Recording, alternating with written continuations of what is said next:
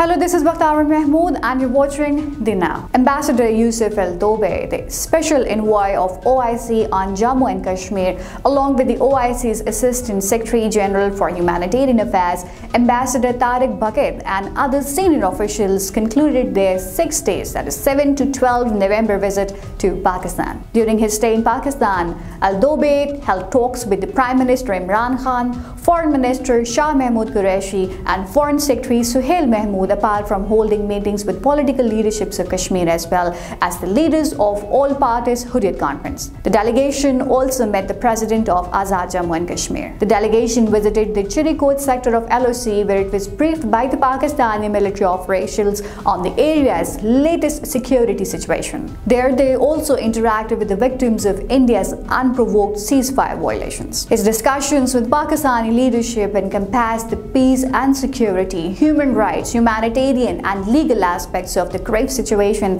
in the Indian illegal occupied Jammu and Kashmir. Mandate of this visit was to represent a report for the upcoming conference of foreign ministers in March 2022. He showed his support for Kashmiri struggle for self-determination. He also reaffirmed OIC support and expressed complete solidarity with the Kashmiri people. He expressed hope that foreign ministers meeting would lead to fruitful results. OIC is the largest forum after United Nations when it agrees with Pakistan's narrative. It adds up to the UNHRC reports on Kashmir issue which had led to the rejection of Indian narrative of blaming Pakistan for unrest in Kashmir. Rejection of the idea that freedom movement and illegal Indian occupied Jammu and Kashmir is linked to terrorism and acknowledgement by the rest of the world that India is no longer a secular is a big conversion and OIC needs to build on this. Envoy term OIC delegation's visit to Pakistan and Azad Jammu and Kashmir very fruitful.